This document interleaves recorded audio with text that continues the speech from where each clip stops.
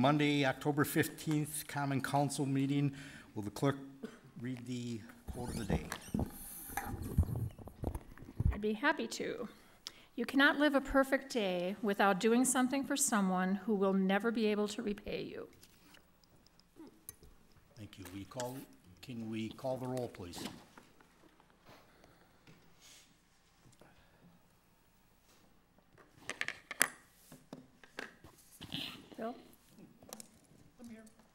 You're here.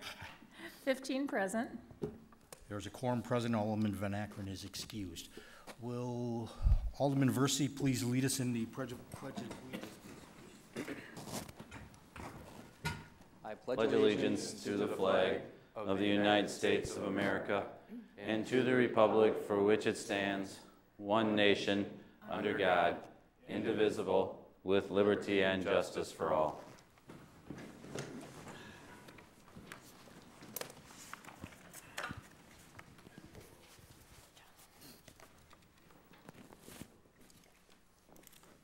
Approval of the minutes. Alderman Ham. Thank you, Mr. Mayor. I move to approve the minutes of the previous council meeting. Second. It's been moved and seconded to approve the minutes of the previous council meeting. Is there any changes or discussion? Hearing none, the clerk will call the roll.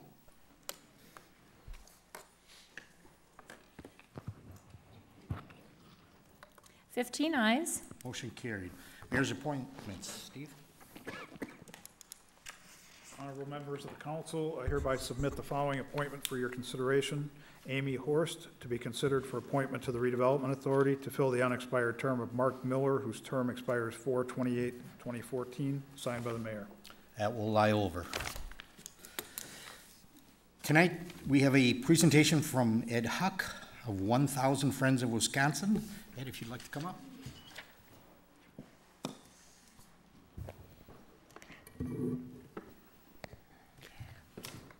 Thank you, Mr. Mayor. Members of the council. Um, Ten years ago, when I was executive director of the Wisconsin Alliance of Cities, in conjunction with the Counties Association, the League of Wisconsin Municipalities, and the, um, the Alliance of Cities, A Thousand Friends, we created this Fair Share Coalition because we could see that there was something happening with uh, local um, reimbursements to local government for uh, road assistance over the, five years at that time, from 97 till 2002. Uh, we made a mistake 10 years ago. 10 years ago, we did not come to the councils. We did not talk to the councils about what was going on. And consequently, when your legislators talk to you folks, talk to the mayor, um, they didn't really know all of that, what was going on. And uh, things continued the way that they have been continuing for the last, uh, for 10 years thereafter.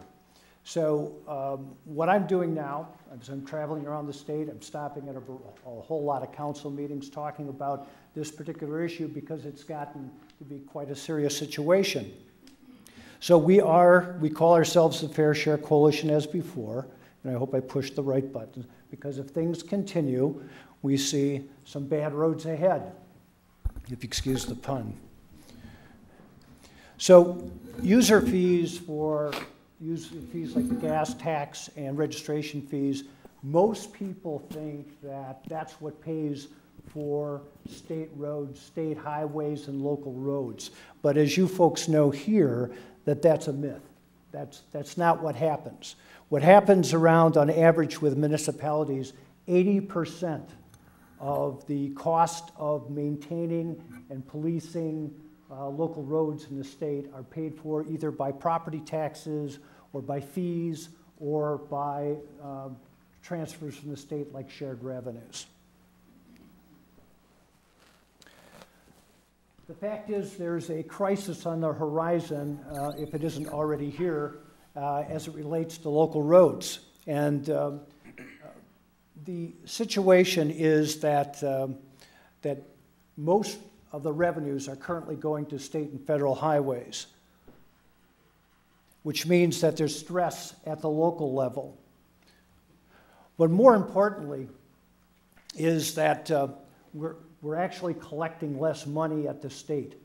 Uh, There's a commission that's been put together by Governor Walker, headed up by Secretary Gottlieb, to look at the gap between highway or maintenance, um, local roads, the needs. The, just on the maintenance end of it, they project a uh, balance, it's going to cost another $5 billion more in revenues just to maintain the highway lane miles that we have. They don't have that money. In addition, if they take all the needs, local, state, bridges, all of that, they're looking at a gap somewhere between 4 and 15 billion dollars. So there's a, a very serious financial situation. Well, needs, however, a relative thing. But the reason for this is we're driving less, for one. Um, in the last five years, vehicle miles traveled have actually declined in Wisconsin, twice. And we're driving more efficient cars, um, or at least we will be at some point. My cars are, my car's 10 and 15 years old, but when the dog dies, I'm going to get a new car, and it will be more efficient than the two that I currently have. And so will it be um, through Wisconsin. So the combination of those two, the projections from the committee are looking at flat revenues over the next 10 years. So no new revenue growth in the fund compared to the needs that it will be adding up over that time. So that means less in the transportation fund, more spending on highways. You can start to see where this thing is heading. So two things. First is the, fir- the, the middle line, the lower one, is what's happened with road aids as a percent of the budget. Um, 15 years ago, 40% of the fund went back to local government in some way, shape, or form. Today, that's 30%. And at the same time, in terms of highways, when you can add in debt service, 61% of the revenues are going for highways. What's worse than that is debt. $781 million have been committed in the next budget for debt service. This is borrowed money to expand highways that's already spent, and this, the debt service is $781 million for the two-year cycle. That's a significant amount. That's 12% of the entire revenues uh, of, by the state are going for debt service. So, the statutes say that local governments can get 85% of their costs um, from user fees paid for at the local level. So, what happened in 2010? Towns got 37% of their costs, counties got 20% of their costs, and cities and villages got 17% of their costs. 15 years ago, you were at around 25% of your costs being paid for. So you can see the decline in what has been going on. It's a combination of your costs going up and the revenues not keeping pace with those costs.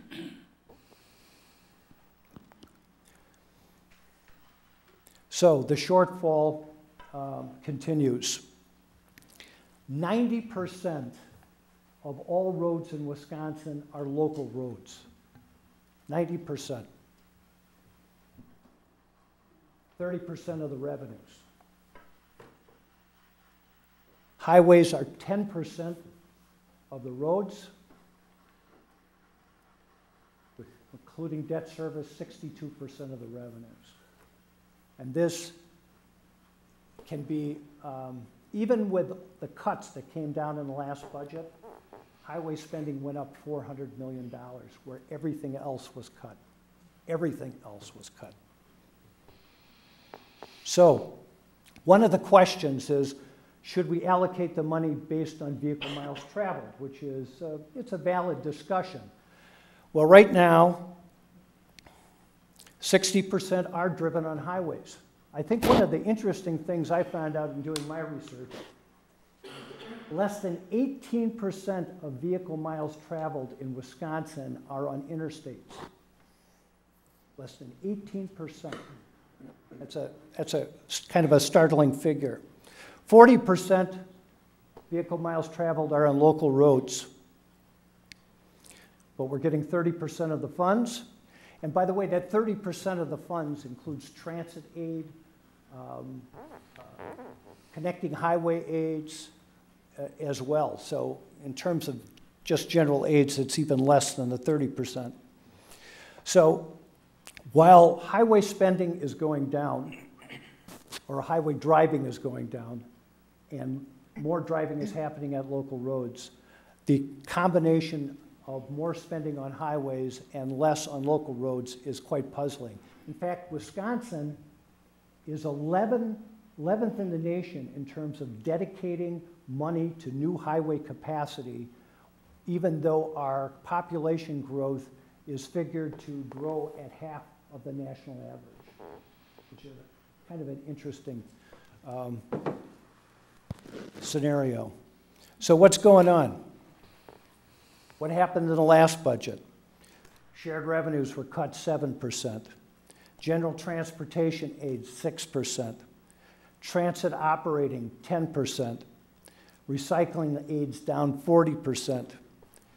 Your taxable property has either been stagnant in terms of value or declining, which puts uh, uh, pressure on rates, and we all know how folks feel about their property tax rates. So the levy limits were made per, uh, permanent, and so the, the question is, what are the options for local government? The average expenditures for local road support in, um, in municipalities around Wisconsin is about 20% of your budget. So this is no small matter. This isn't something that you can just brush with stormwater, police, um, and just the uh, deterioration of your local roads. Somewhere around 43% of local roads are less, in less than good condition uh, on average in Wisconsin. So now we're not going to return to these old days, although there's a couple of roads up in Ashland that the, the mayor tells me could look that way.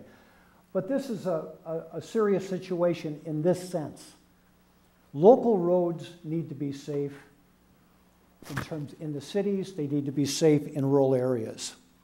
And this is not what you want in terms of economic development. And I'll, I'll bet every spring the Sheboygan Press does a story on potholes. I'll, put, I'll put my money on it. In fact, uh, there are newspapers that always show me the potholes that you've got in your cities. It's, it's, the fact is that any truck, I mean, we need good highways. I'm not saying that we don't. But every truck that, that travels on a highway leaves that highway and it finds um, some type of a, an, a, a collector or arterial to deliver their goods within a city or a village or a town because the economy doesn't happen on the highway. The economy happens in, mostly in the cities, but it also in the rural areas. I mean, what's going on in some of the counties, the frac sand on the western part uh, of the state, what that's doing to county highways is just obliterating them. Bridges are under tremendous stress in the rural areas because of the, uh, the lax, uh, the, the lumber coming down and, and other uh, large bulk uh, materials that are being shipped uh, or, or coming into the Green Bay Harbor or coming into the Milwaukee Harbor. A lot of bulk goods coming in and then coming over those roads. So the reality of it is we need balance in Wisconsin. And we currently do not have balance. We have for 15 years focused on highway expansion and lane mile expansion for highways. That has been the focus. Um, other states are looking at what the federal government is likely to do. Wisconsin projects as much as a billion dollars less in federal revenue um, coming into the state. Uh, in addition to the fact that state revenues are flat. So if the highway spending continues and revenues remain flat or are declining, there's only one target, um, and it happens to be local government. And the impact on you folks could be quite significant and quite severe. Because the fact of the matter is, what that would mean is you'd wind up borrowing. In order to get around the levy limits, you'd wind up borrowing. You'd wind up going the debt route, the same as the state of Wisconsin has gone the debt route. And frankly, that's not sustainable. That is, that is not sustainable. So what's going on? The two big highway projects, there's, um, there's $4 billion committed to those projects already. That, that money is committed. And that's for the I-39 between Illinois and, uh, and Janesville, and I-94 between the Illinois line and uh, uh, north of Kenosha. They're getting 60% of the revenues currently. We're getting one-third, and that's where the name comes, the Fair Share Coalition. What we're considering, because our legislative efforts have not been um, successful, is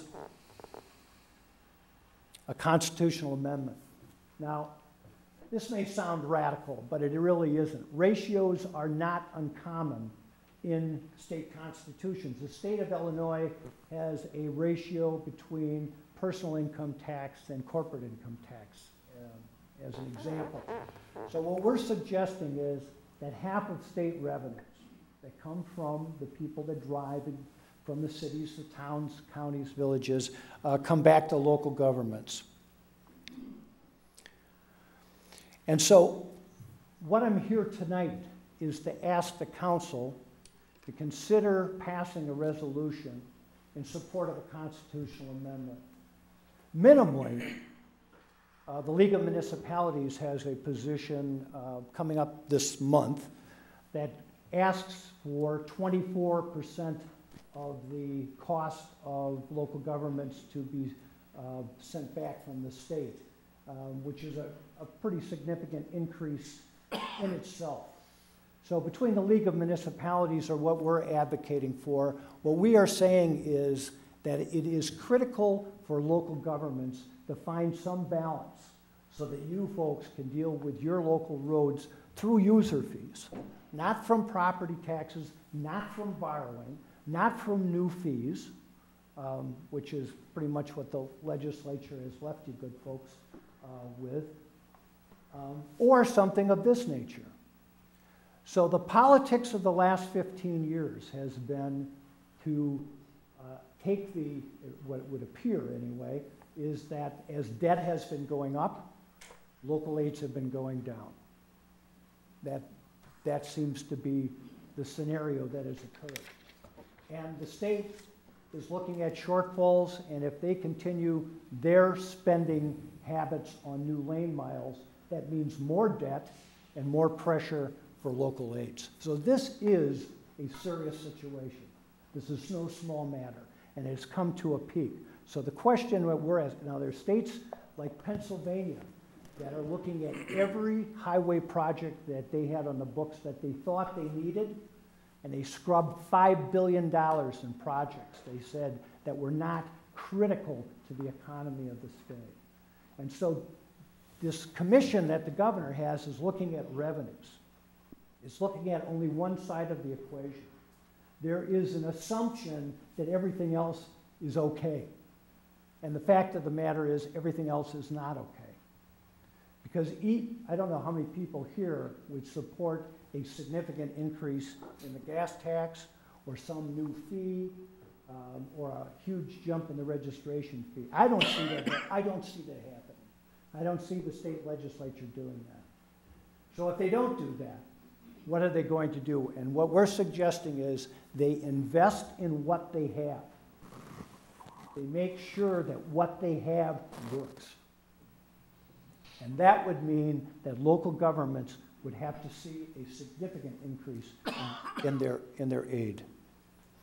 So I'm here to ask you to take some action. Now, I've left uh, with your uh, city clerk some copies of a potential resolution as well as um, copies of the resolution that was passed by Ashland and by uh, West Allis as an example of what those two cities have done.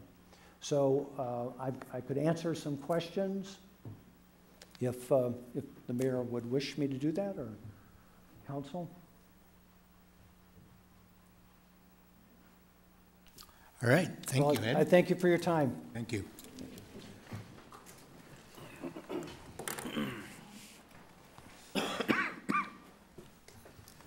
City Clerk, the public forum.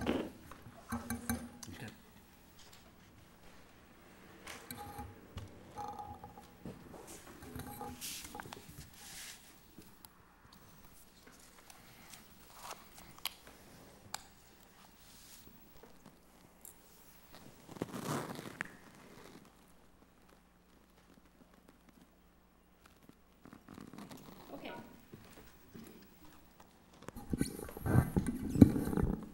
First this evening, we have Frank Kozan.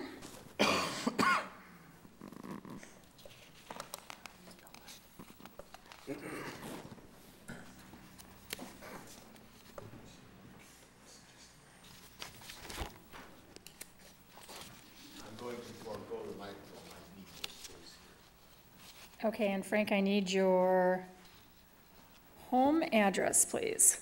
Two eight two nine Erie Avenue.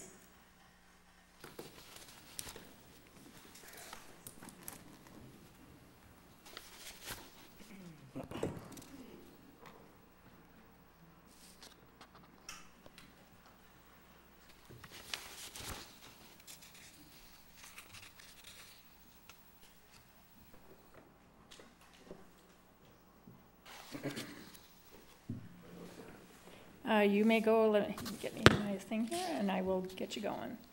Um, Go ahead, you'll have five minutes. I'm assisted by my wife, Mary Kozan, and um, this originated as an inquiry regarding school uh, issues.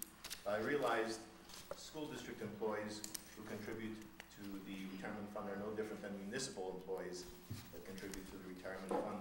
So that's why I'm presenting it here, and I'd like to begin. Now that teachers, municipal workers, contribute half to the retirement system, your school district, municipality, has higher payroll costs and your tax bill goes up thanks to Act 10. That's right, when teachers, municipal employees pay nothing, the school district, municipality has lower payroll costs and your tax bill goes down. This is not smoke and mirrors. An example. An illustrative salary of ten thousand, not realistic, but makes the math easy. Social Security is really six point two, here rounded six percent. Medicare is really one point four five, rounded to two percent.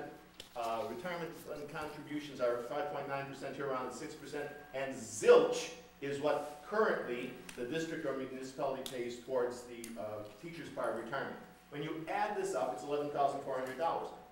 Consider next year, let's say there's a three percent increase account for inflation. Now, from ten thousand to go to ten to three hundred, every category increases. This is still zilch, they're still not paying the teachers or municipal workers part. It's now eleven thousand seven forty-two.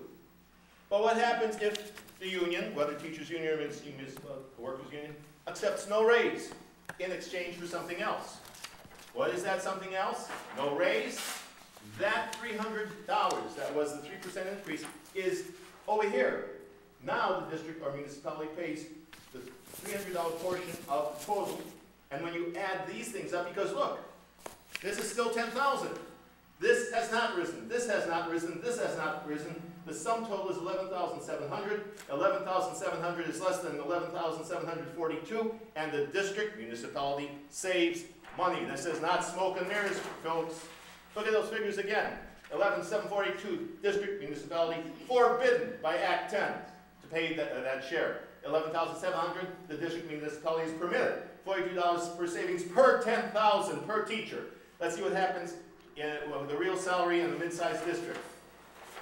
Realistic salary, forty thousand, average, superintendent custodian. Forty-two dollars per thousand times four, because that's how you get to forty thousand, is hundred sixty-eight savings per teachers. Hundred sixty-eight savings per teachers times seven hundred teachers, about Sheboygan's size, drum roll please. hundred seventeen thousand, six hundred dollars for the first year savings to the mid-sized district. That's savings for the district, municipality, and a lower tax bill for you in just the first year, and there's more savings each and every year, savings that increase. That's the impact on the, I'll show you the next last page, over 12 years on a mid-sized district, 700 employees, 40,000 average. Here, only a 1.5% increase, not 3%. Cumulative savings over 12 years, $2,891,501. Through the state, we could say there's 70,000, that's 100 times the uh, 700 um, uh, teachers or uh, employees. That comes to $289,150,100. Act 10 is not a tool for saving districts or municipalities money. And as of 12/31, uh, 11, it's required by reco- report uh, of uh, the 2011 Act 32, active participants, teachers, municipal workers, judges, protective services are 260,711. That is nearly 70, 372 times 700 and 2,891,501 times 372 equals 1,075,638,372. That's over 12 years, averaging nearly 90 million per year. You say that's a stunning number, how can it be? Well, folks, if you can save $28 per month per person, that's uh, $36 per year per active uh, person. So, uh, uh, so uh, over 12 years, that's $4,032 savings per active participant. 42,000, uh, 4,032 per active participants at times 260,711 is 1 billion, 51 million, 186,752. Actually, comes, this comes out to about $20.75. And guess what? On the last page, I'll show you that when the teachers pay nothing, they pay more federal income tax. Not much. They pay more Wisconsin income tax. Not much. But nobody's going to say that they're getting a free ride and they're not paying their share of the Wisconsin tax or the federal tax. And they agreed no raise for several years. Why would they agree to no raise? They end up with more money in their pocket. Impossible? No. The math is math. Hold on, Frank. That's it. Okay. I could show you a little bit more. If anybody doubts it, I'll be available to show you the numbers. And I'm gonna be at the Mead Library Rocker Room Wednesday in the afternoon, Thursday in the morning. Anyone wants to touch me, this is here. I also have sheets that have your representatives and state representatives and state senators' numbers. Perhaps you should ask them, what were they thinking when they passed this act? It costs money. Thank you. Thank you, Frank. Thank you, Frank. Anyone else on the, Uh, Daryl, could you pull the podium back for me? Uh, Yes, we have one other person. Uh, Dulcie Johnson, please.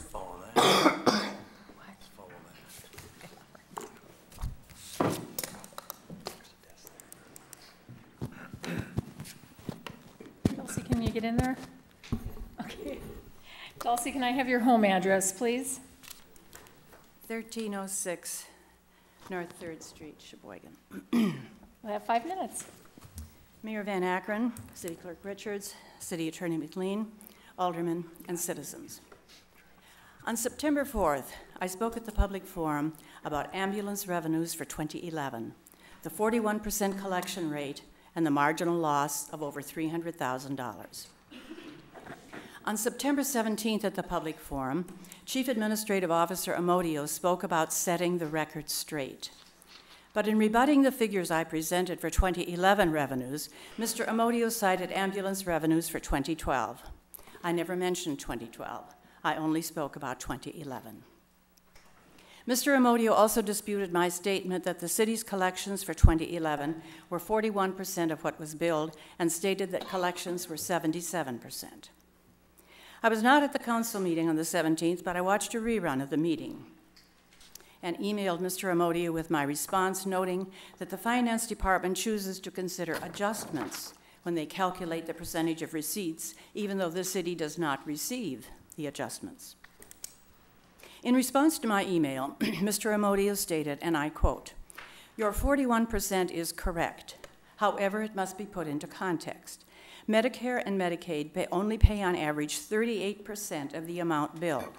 The most the city could collect is 58% of all claims billed. This 58% compared to 41% does not take into consideration the 90 to 120 day payment lag. End of quote. On August 21st, I had emailed a Freedom of Information Act request to Nancy Buss in the Finance Department, requesting a copy of the billing service provider activity for calls from January 1st, 2011 through December 31st, 2011. The wording of my request was identical to the request I made last year for 2010 figures. Last year, the information I received included the number of calls, gross billings, adjustments, receipts, and the percentage of collections and adjustments. This year, in response to an identical request, I only received a listing of the number of calls each month. I don't know why I didn't receive the complete information, but I did indeed find the information I was seeking in my files. Mr. Amodio said that my calculation of 41% did not include the 90 to 120 day lag receipts. The billing collection information I received from Mr. Amodio when I met with him and Chief Herman does not indicate payments for 2011 billings, so I don't know where or how that information is recorded. Mr. Amodio said that the most the city can collect is 58% of all claims, so I asked him why he said collections were 77%. In response, Mr. Amodio said, and I quote, For net collections, we are collecting 77% of the 58% without considering the lag in payments. This is why it is very misleading. Let me repeat that. For net collections, we are collecting 77% of the 58% without considering the lag in payments. This is why it is very misleading. Misleading that is an understatement. How do potential maximum collections of 58% result in net collections of 77%? Would a private business consider what they could have collected or adjustments that they had to write off as part of their income? I think not. I have never learned new math. I only learned good old fashioned arithmetic and billings of $2,153,813 and receipts of $877,452 results in a collection rate of 41%. I am hard pressed to believe that the lag receipts would raise that percentage to 77%. Indeed, although billings and receipts for 2010 were lower, when I add the collections for 2010 billings received in 2011, the percentage of billings for 2010 with the 90 to 120 day lag is only 42%. Some have called the city's ambulance accounting system voodoo economics. I call it gobbledygook. Thank you. Thank you, Delsey. Thank you, That would be it. We'll move on to the public hearings. First public hearing is a public hearing in which time any resident or taxpayer of the government unit shall have an opportunity to be heard on the proposed budget.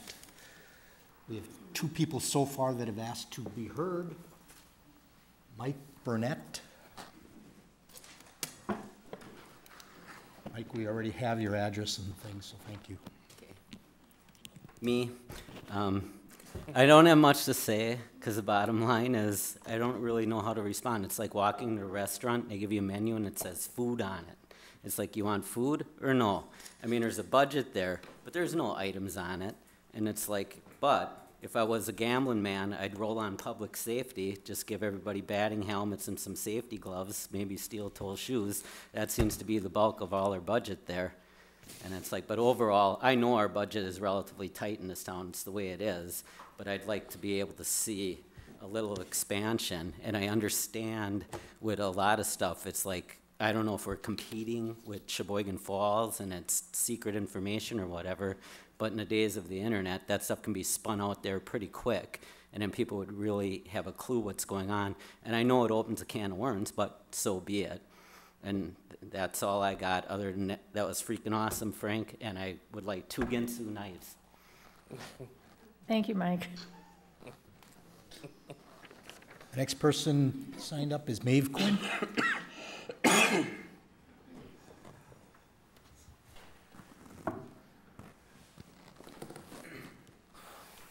Good evening, Mayor Van Akkeren, aldermen, and citizens. Uh, Thank you for the opportunity to speak at the public hearing of the budget of the city of Sheboygan. Dave, could, could you speak a little more into the, there you go, thank you. Sorry about that, thank you. Um, These last few years have not been easy for our city to create a budget that reflects the needs and wants of its citizens. Tonight, I'd like to share with you my own perspective of, excuse me, of this city. 20 years ago, my husband and I chose to live in the city of Sheboygan. Today, we are still choosing to live in the city of Sheboygan because we strongly believe that the taxes we pay support the services that we need. We value the strong public safety of police and fire, Mead Public Library, local parks, clean drinkable water, the transit service, garbage, garbage pickup service, and the snow removal service. Now, I hope because I said the word snow in October, I haven't made that happen for tomorrow, so thank goodness this is made out of wood. We've, a few weeks ago, UW Sheboygan interviewed several potential dean candidates that came from all over. I was invited to provide one of the candidates with a short driving tour of the city of Sheboygan. We were encouraged to show off the best of the city. Before beginning the tour, I had asked him if there was anything in particular that he really want, wanted to see. He promptly asked to see our library, some of our neighborhoods, and Lake Michigan. You can probably imagine where this person was probably from, not around here. Uh, this really made me smile, and I asked him why he wanted to focus on these areas. He shared that one of the ways he judges communities is how they value their local library and how they value their, their unique natural resources. he was astonished by the incredible open access for all to enjoy Lake Michigan. I did the real slow drive from the south side and all the way up. Um, he was also, uh, when we stopped in at the library early in the afternoon, he was quite thrilled to see over 100 citizens of all ages utilizing the library services. It was really quite fun to show off our ama- amazing city. As all of you already know, our citizens of the city of Sheboygan certainly value their Mead Public Library. Over 32,000 people hold library cards, 32,000 citizens. Over 120 citizens visit the library every single hour. Over 800,000 items were checked out in this past year, and of those that were checked out, 73% of those items were City of Sheboygan residents. This is quite extraordinary. Our citizens truly value and utilize this public service. All of us working together promises a strong future for Mead Public Library. Thank you. Thank you, Maeve.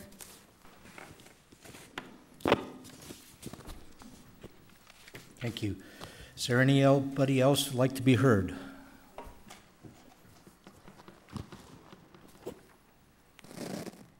Can you state your name and address for the clerk, please?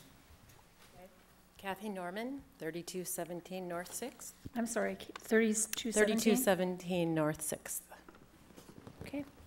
Um, I came to speak in support also of the library. Um, Normally, one would make comments in response to a very tangible budget proposal. This one's been a little bit circuitous. I don't even quite know how to respond, other than to say, I know right now the library isn't seem to be facing any significant cuts, but I know anything can happen, so I would remiss if I didn't act on behalf of the library. I'm on the library board, as well as the Library Foundation Board, and one of my roles is to be an advocate for the library. So I thought you should hear that there are still lots of people out in the community agitating to support the library that would be very unhappy if the city council didn't support it to the level it's been supported before.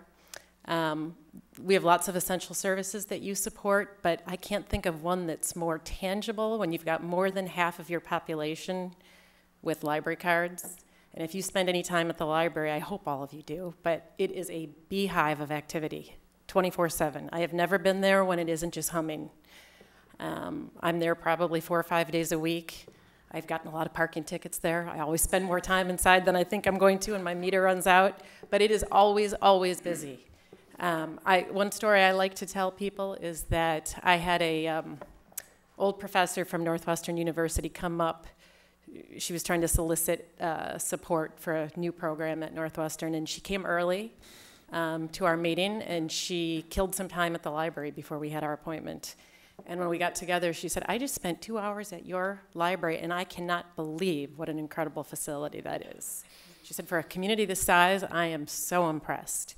And I thought that, you know, that made me proud about living in Sheboygan, and we need to keep that going. That's what keeps our downtown vibrant. It can be a fairly, you know, not so exciting downtown, but I think the library is the tenant or the, the anchor of that downtown.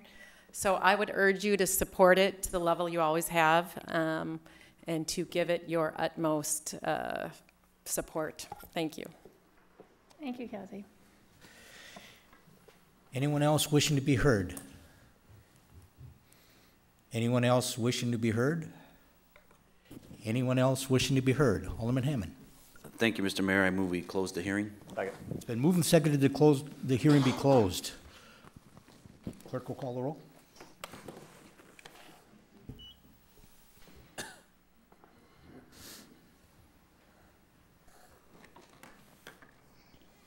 Fifteen ayes. Motion carries. Second hearing tonight is a public hearing amending the zoning map for property located at 2013 South 13th Street from Class NR Neighborhood Residential to Class Neighborhood Commercial classification.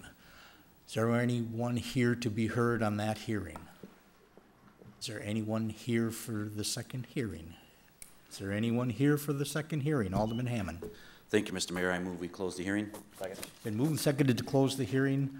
Clerk will call the roll. Fifteen ayes. Motion carried. Move on to the consent agenda, three one through three nineteen. Alderman Hammond. Uh, Thank you, Mr. Mayor. Please bear with my voice. Uh, Motion to accept and file all ROs, accept and adopt all RCs, pass all the resolutions, pass all ordinances, and substitute of substitute ordinances. Second. It's been moved and seconded to pass all committee reports, pass all ROs, pass all resolutions and substitute resolutions. Alderman Carlson. Thank you, Mayor. I would like to pull 318 for a separate vote. We will move on 318 first. Alderman Carlson, any discussion or just? Alderman Raisler? I guess uh, an explanation what 318 is, it's um, bringing back the uh, overtime compensation only on the holidays. Uh, Last time, we had a dis- uh, a brief discussion on the uh, va- vacation, which were the benefit days. Um, So they were removed, and this would take effect uh, at the beginning of the year.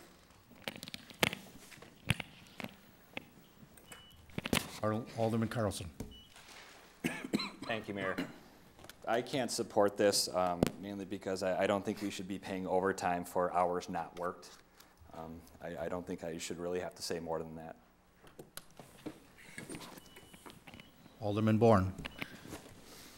Thank you, Mayor. Uh, I'm not going to support this either, but I wish uh, if our HR manager or Mr. Amodio could explain the financial implications of this uh, if it does pass. HR Director, I see is headed on their their way up here, so. Sandy?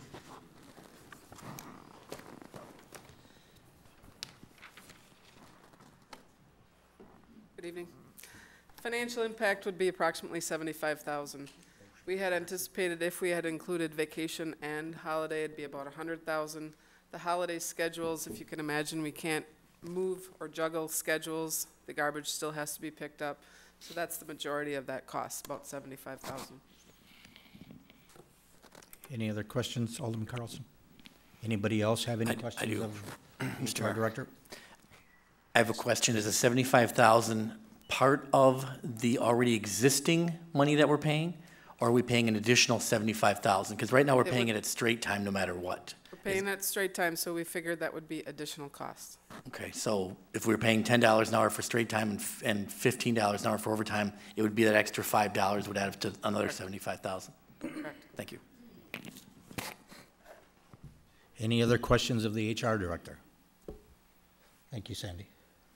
Alderman Raisler, we need a motion then on, the on 318. Thanks. I would uh, move that the uh, report of committee be accepted and adopted. Second. It's been moved and seconded the committee report be accepted and adopted. Any other discussion? Hearing none, the clerk will call the, oh, I'm sorry, hang on. Sorry, Mr. Mayor. A- And, and I believe, um, what was the second part, Alderman Hammond? Subs of subs. pass a substitute. And, and then I just have a couple comments on it as well. I, I I understand that, that um, you don't want to pay for work that isn't done, but unfortunately, uh, as we go back and I talk about the private sector, uh, if we're calling somebody on a Saturday to come into work, uh, or on a Sunday, we're, we're, we're paying them extra money. Uh, Unfortunately, we're putting these people out uh, to do this and work an extra day during the week, and right now they're uh, being compensated at straight time. And, and again, I go back to the private sector where they would be compensated at additional time. Um, It was a five-nothing vote at the committee, and um, like I said, I, I- I think that uh, we have an obligation to our employees. Um, As the gentleman who presented the Act 10, um, this is somewhat of a compromise with the employees to um, get from where we were to where we are now. Thank you. Alderman Carlson. Thank you, Mayor. I, I work in the private sector full-time, and when I take, uh, let's say, Labor Day off, I get paid my eight hours holiday pay. I work Tuesday, Wednesday, Thursday, Friday, and I usually have to go in on Saturday.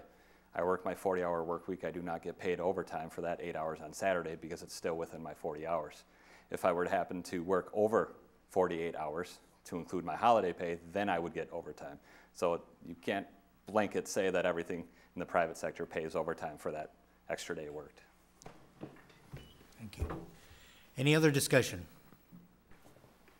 Hearing none, the clerk will call the roll.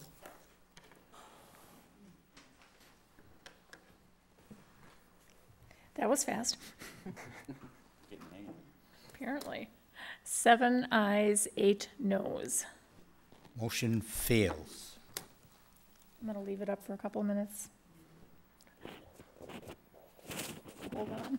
Okay. We'll take on everything on the consent agenda except 318 now. We had a motion to accept all the RCs, all the committee reports, all the reports of all sorts of resolutions and substitute resolutions be put upon their passage. Any discussion on anything else?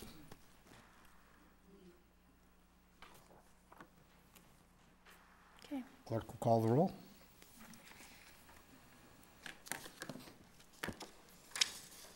Fifteen ayes. Motion carried. Four one, report of officers from the Plan Commission recommending uh, amending the zoning of property located at thirty-seven eleven South Taylor will lie over. Four two will be referred. Four three has been withdrawn. Communication. Four four will be referred and four five will be referred. Five one, resolutions introduced by uh, Alderman Heidemann authorizing purchasing agent to prepare and issue a request for proposals for rehabilitation of city-owned shanty at seven oh five Riverfront Drive. Alderman Heidemann. Thank you, Mayor. I put the resolution upon its passage. It's been moved and seconded to have the resolution be put upon its passage. Under discussion, Alderman Our Heidemann. discussion now, since the process uh, of, and this uh, body decided that they wanted to save the shanty, we got to find out what's all involved and, and, and uh, get a cost, effective cost of what it was going to cost to save that shanty. So this is a- the starting process, and this will come back to Public Works, so. Thank you. Any other discussion? Alderman Donohue. Uh, Thank you. Uh, I'm going to support this uh, uh, resolution. Um, My concern is, um, as you read through it, you realize that it is an extremely detailed plan, uh, request for proposal for a detailed overhaul and um, reconstruction of the shanty. Now, um, the detail is exquisite. It is probably necessary. Um, my concern is that in some fashion or another, this request for proposal, by the nature of its um, substantial detail, will discourage or somehow derail any other development efforts that might be happening with the shanty. now, the reason I'll support it, however, is my understanding that if there are requests for proposal that actually do meet all of the details of this uh, particular um, uh, resolution, that will go back to Public Works. If there's not, that will also go back to Public Works. In other words, by passing this, we are not closing the door on those folks who may be interested in preserving the shanty and, and who come up with an alternate plan that may not necessarily meet with the detail of the, of the RFP. So it has my support, but with that understanding. Thank you. Alderman Bourne. Thank you, Mayor Van Akkeren. I understand from the last council meeting that there's a redevelopment authority meeting coming up. Is it the 18th of this month? How is that, how is that meeting, uh, is that, is this uh, fish shanty thing going to be on that agenda? And are there going to be any proposals coming forward from the private sector, other than the original one we had where the person wanted to invest $200,000? Then Mr. Dolson had a supposed businessman who was interested in coming forth and restoring this. Where does this uh, redevelopment authority meeting coming up in a few days fit into this equation? I don't believe it does figure into the equation because we didn't transfer the property to the redevelopment authority, so it's still under the city council uh, and the city's control. So we'd be um, looking at proposals, not the redevelopment authority, because we never transferred the property, correct? That's, that's correct, and there is nothing on the agenda for the October 18th meeting with regard to the shanty. Uh, From redevelopment standpoint, redevelopment authority doesn't have any jurisdiction over the shanty issue at this point. Thank you. Any other questions? Any other discussion? Hearing none, the clerk will call the roll. 15 ayes. Motion carries. Five through a resolution by, five two, a resolution by Alderman Vanderwilly, Matachek, Koth, Lewandowski, authorizing the city attorney to engage in outside legal services with regard to a quasi-judicial hearing regarding the suspension and rev- revocation of a cigarette tobacco license number fourteen oh six. Alderman Vanderwilly. Thank you, Mr. Mayor. I move to suspend the rules. Second. It's been moved and seconded to suspend the rules. Discussion under the suspension. Is- Who seconded it? I'm sorry. Thank you. We'll first vote on the suspension of the rules.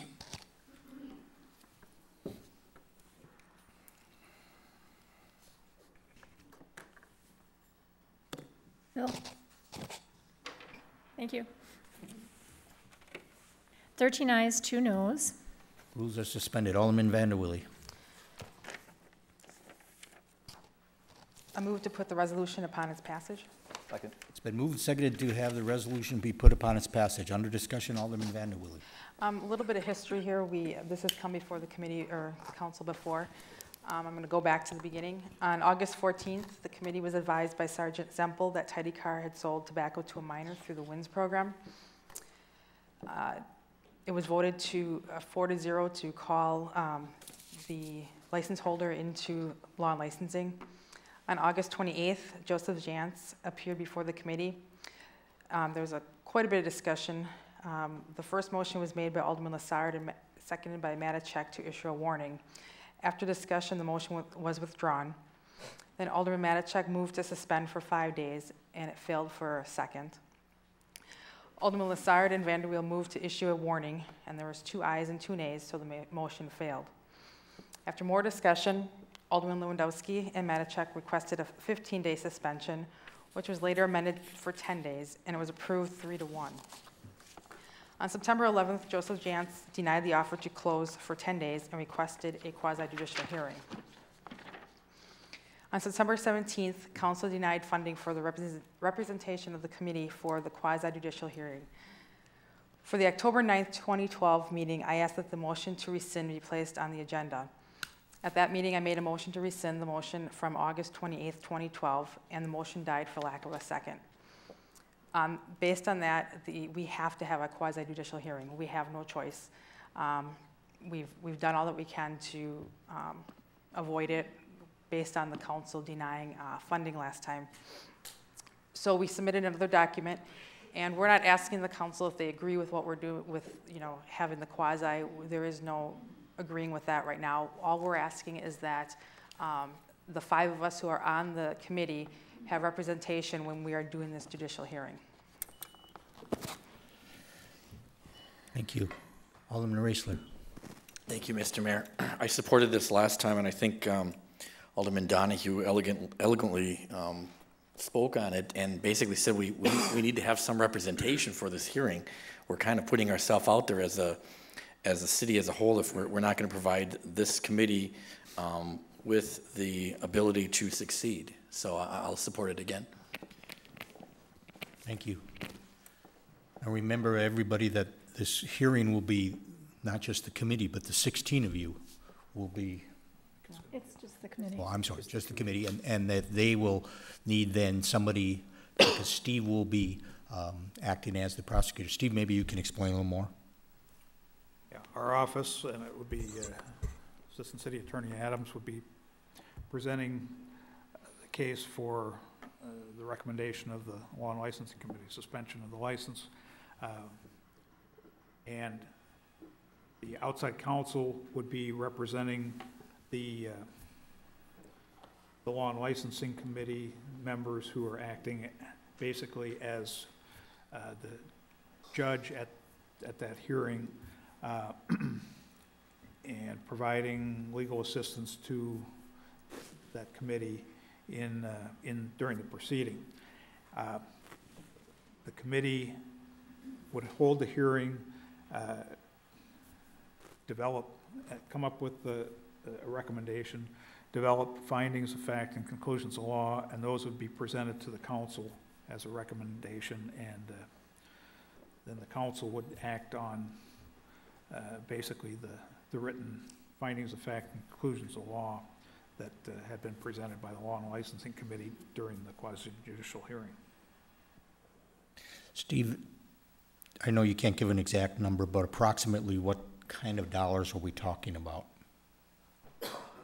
Um, You know, it's, it's impossible to say with any precision, but typically it's been a couple hundred dollars is uh, what it's run. Typically, we've hired uh, Joe Volkner from the Olsen Kloet firm, and, uh, you know, what, it would depend on the amount of time that the hearing took. He basically charges, I don't know, can't quote his fee, hundred and eighty dollars an hour or something like that. But basically, it's the time he would devote to the hearing. Um, I don't think that there's a lot of prep time that he will need to do or anything like that. And uh, our office would do most of the legwork as far as the findings of fact, conclusions of law, and that sort of thing. So uh, it's a matter of just being present at the, uh, at the hearing. Thank you. Any other discussion? Hearing none, clerk, well, Alderman Bellinger. Thank you, Mayor. Um, Just a question for Steve. If, if this doesn't pass, this hearing still takes place without representation, is that correct? I mean, if, or does the hearing not take place if it doesn't pass? Well, that's the issue we had last time. I, I guess that'll be up to the Law and Licensing Committee, but I would assume that they would hold the hearing and uh, uh, go without legal representation as far as uh, hearing the case.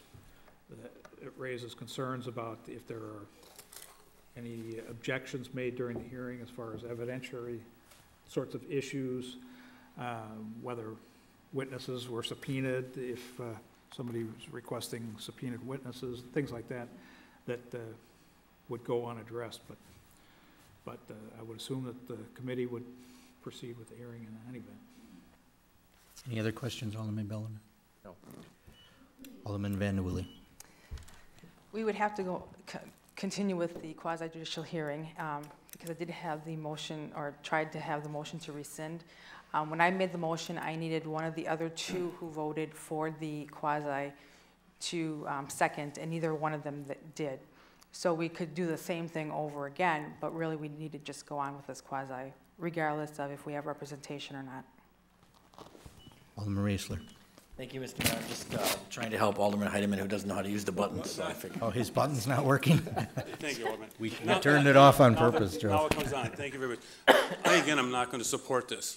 Um, I do compliment the chairman of the committee for offering up a- an opportunity for this uh, process to go away, but not getting a second from two aldermen.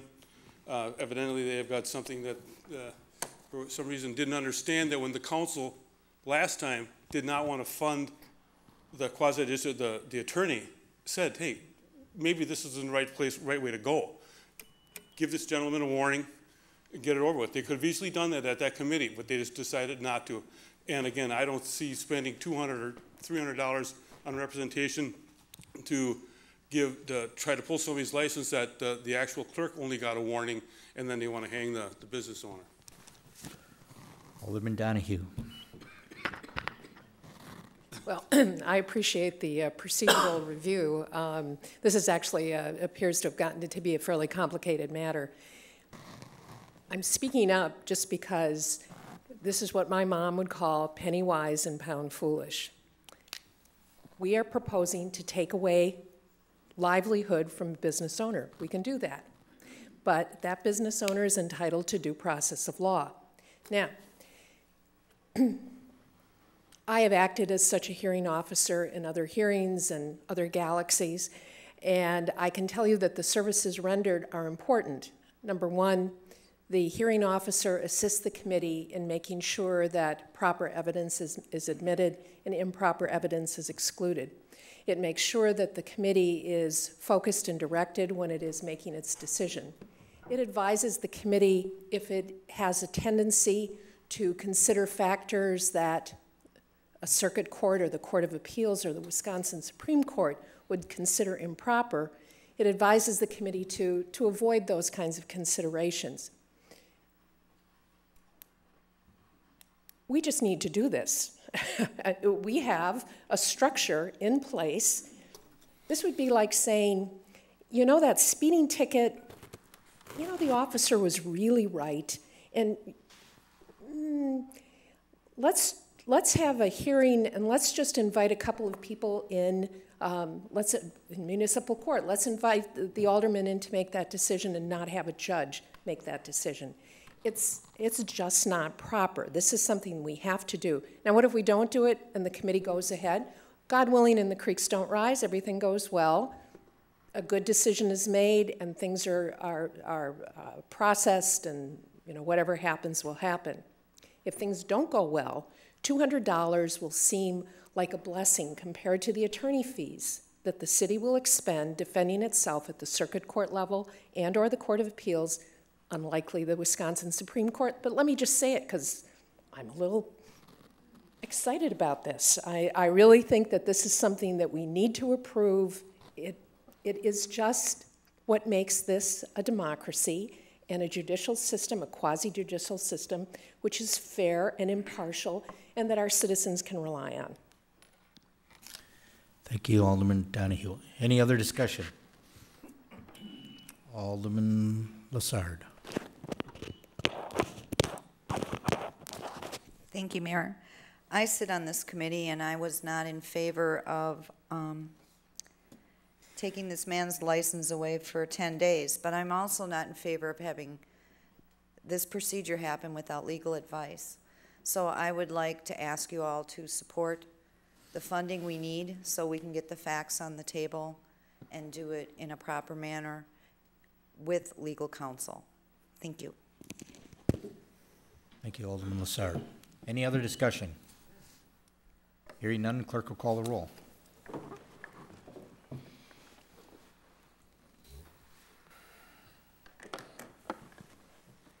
Ten ayes, five noes.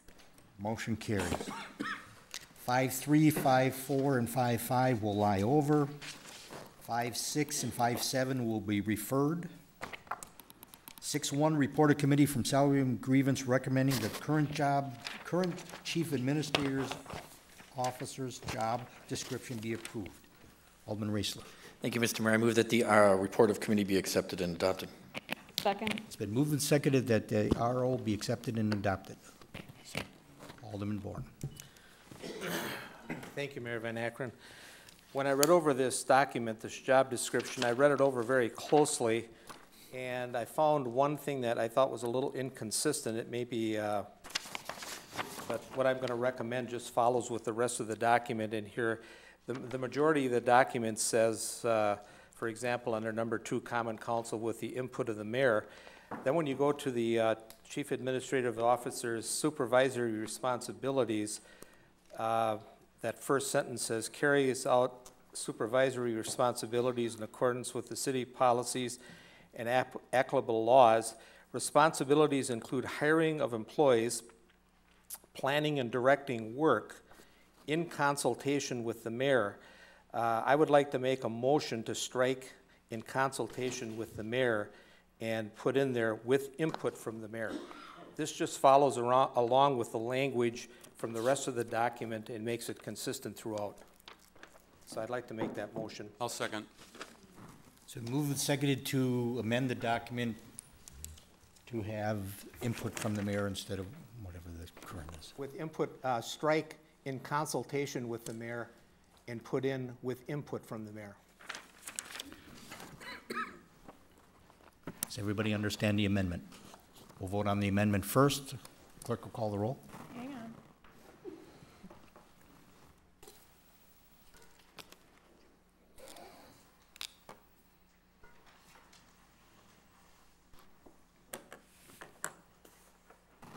Mary Lynn?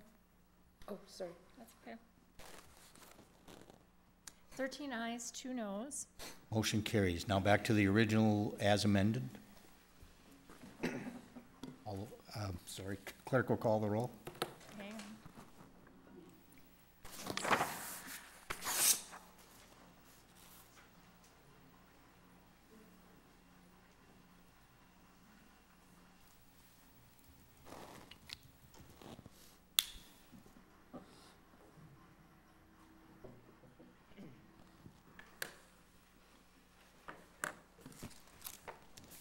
Fourteen ayes, one no. Motion carries. Six two from Law and Licensing recommending taxi driver license number ninety-four ninety-one be denied based upon a record. Alderman Vanderwilly. Thank you, Mr. Mayor. I move the RC be accepted and adopted. Second. Been moved and seconded that the RC be accepted and adopted. Under discussion, Alderman Vanderwilly. Is Regina Ramirez here this evening? She is here. Um, She revealed all of her convictions to the committee. Uh, The committee was concerned about a 2011 inattentive driving.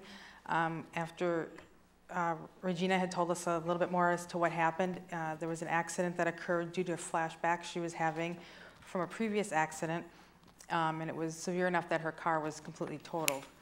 Um, There was also concern for a 2012 noise disturbance and disorderly conduct. Um, It happened at the same time. It was, um, and it was between her and the downstairs neighbor. And the police had concerns overall about um, maybe her recollection of the events as to, um, it, it didn't go along with their normal procedure. Would the applicant like to address the council?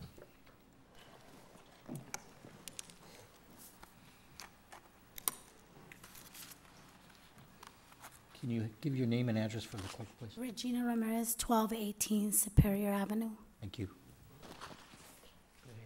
Um, I was just letting the council know to re, um, look at my case or open up and actually see what really happened. I'm not sure exactly what they're saying happened because I didn't go into my record. I don't know what the police said. I haven't went back that far. I did have an accident and I told them, you know, what happened. It was not a child that was coming out, it was a bush that was underneath my car and it was an accident. Um, it was, I believe, in 2011, I believe. And a little boy shot out, darted out between two cars. I stopped, but the little boy still hit my car. And it really scared me. I kind of went into shock and I was afraid to drive. And because I was afraid to drive, I put myself and went to the doctor and said, you know what, I'm scared. And they said, what, what are you scared of? I said, I'm scared to drive. And she said, What do you mean? I said, When I get into the car, I get panicky, I'm scared, I start shaking. And she said it was anxiety.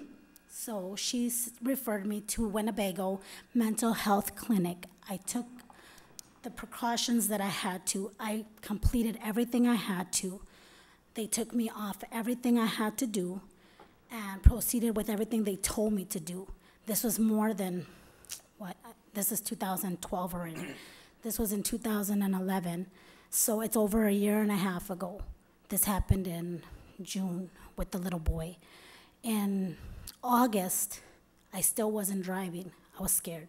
As soon as I saw like little bush like running underneath the, the I, I didn't know it was a bush. I, I saw something coming out.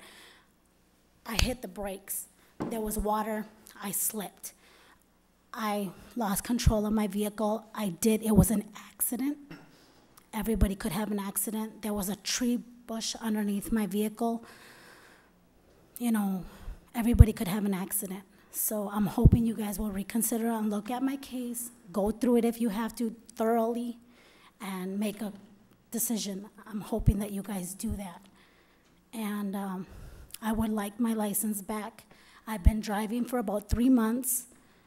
Um, well, I've been driving with a taxi company for three months. I've been driving myself for six months. Um, never had an accident. I'm more precautious now. I'm very, very aware of when I see little kids. I do not like to go by the schools because I'm afraid of that happening. But anybody would be if that would happen to you because he was a little child. You know, he was like, nobody would have saw him. It was two cars. There was an accident. I was in the newspaper. It was at a church. We were coming out of church. Stuff happens. We just don't know why it happens to good people. Thank I you. have Any no record, nothing at all.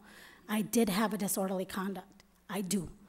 But unfortunately, I have bad people that, I had an ex-boyfriend that has a very mean ex-girlfriend and their mother, and that's who lived underneath me. So I'm cursed with an ex-boyfriend that had a mean gr- mother. So I broke up with him, and now I have no problems. It's over. Any questions of the applicant? Questions of the applicant? Alderman Bourne. No, not of the applicant. Oh, okay. Any questions of the applicant? Alderman Vanderweel. Thank you, Mr. Mayor. Um, Could you tell us a little bit about the noise disturbance and disorderly conduct that occurred in 2012? Yes. Um, I used to work for a little boy for Sheboygan County Health and Human Services. I can't give him his last name, but I can give you his first name. His name was Jerry. He is, um, like, he can't walk very well. Well, he got up to go to the restroom. I told the police this. I told him to come upstairs. He didn't want to come upstairs. Um, they called the police because there was stomping. He stomped up, he got up and stomped all the way to the bathroom. Well, my next door neighbor, well, my downstairs neighbor, which is my ex boyfriend's mother in law, ex now, called the police and said we were stomping around. And I told him, come up. And I said I was going to take it to court, but she went, she moved to Iowa. So I wasn't able even to take it to court.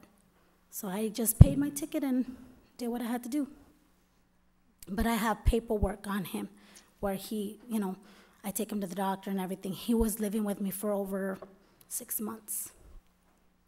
Alderman Vanderweel. Uh, You'd also received a disorderly conduct that same evening. Yeah, it was her, her daughter.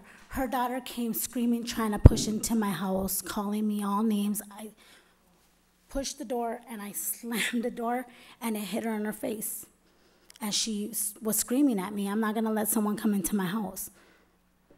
Especially her daughter, she don't even live there. It wasn't even the lady that lives downstairs, it was her daughter.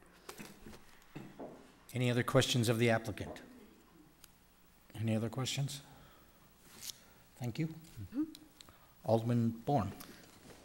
Thank you, Mayor. Uh, Chairman Vanderweel, uh, what what was the uh, vote of the committee, and did you get any recommendation from the police department on this? The committee denied um, her request for a license five to zero. And the police department, um, what he had told us was um, to get a disorderly conduct, it typically, there'd be more to it than just slamming the door as well as the noise disturbance. So he was, without having the police report in front of him, he was, um, just said it didn't sound completely like the full story. Any other questions? Any other discussion? Alderman Donohue? Just a point of information, um, at what point could um, an applicant make a new application for a license if, if she's denied? Anytime. Anytime? And is there a typical rule of thumb about how long a person needs to wait in order for an application to be favorably considered? A year. A year. Is there any other discussion? Hearing none, clerk will call the roll.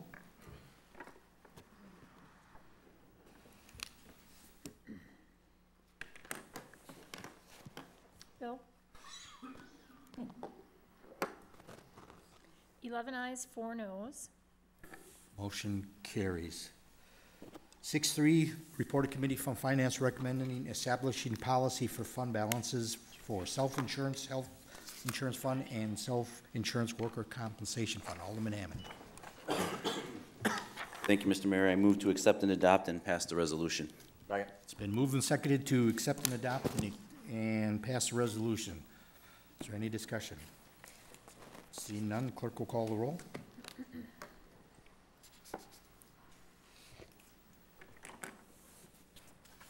Joe?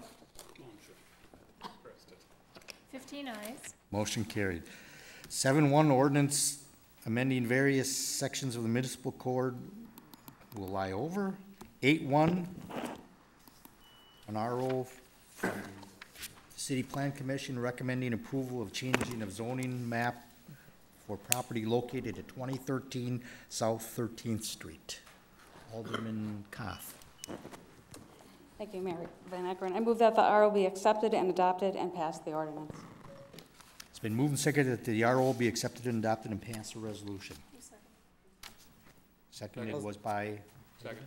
Oh, are you seconding? Sure. is there any discussion? Hearing none, the clerk will call the roll. Fifteen ayes. Motion carried. A two, resolution by Alderman Hammond approving the sale of certain redevelopment authority property. Alderman Hammond. Thank you, Mr. Mayor. I move that we pass the resolution. Second. It's been moved and seconded that the resolution be put upon its passage. Is there any discussion? Hearing none, the clerk will call the roll.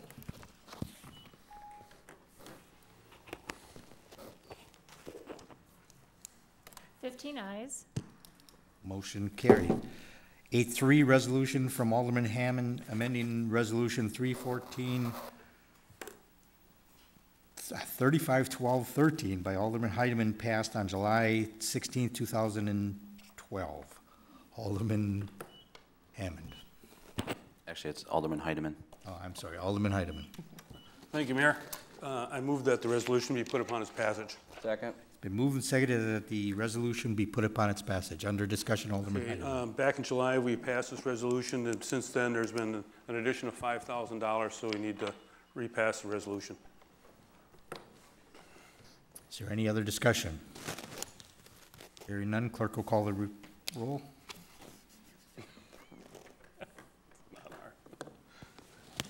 Fifteen ayes. Motion carried. Nine one, under other matters, will be referred to finance. Under other matters, city attorney.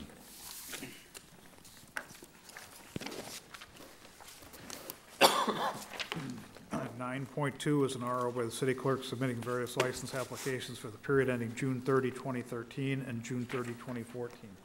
I will go to law and licensing. Nine point three is an RO by the purchasing agent submitting a recommendation for award of bid number 1734-12 for the purchase of three vehicles for the transit department. That will go to finance. Nine point four is a resolution authorizing the purchasing agent to enter into contract for the purchase of those three vehicles for the transit department. That will go to finance. Nine point five is a resolution authorizing the appropriate city officials to execute an application for an aquatic invasive species control grant for the city. Uh, Grant is between the Department of Natural Resources and the city, in the amount up to twenty thousand dollars for the implementation of invasive species control near North Point Park. Public Works. Nine point six is a resolution to authorize the transfer of appropriations in the twenty twelve budget. Finance. Nine point seven is an RO by the city clerk submitting a notice of claim from Castor Law Offices on behalf of their client Sandra Bear. That will also go to finance. Ten one, motion to go into closed session, Alderman Hammond. Thank you, Mr. Mayor. Uh, Move to convene in closed session under the exemption provided in Section 19.851E E Wisconsin statutes for the purpose of discussion and formulation of negotiation strategies relative to possible agreement for combining emergency dispatch services where competitive and bargaining reasons require a closed session. Second. And moved and seconded to go into closed session. Clerk will call the roll.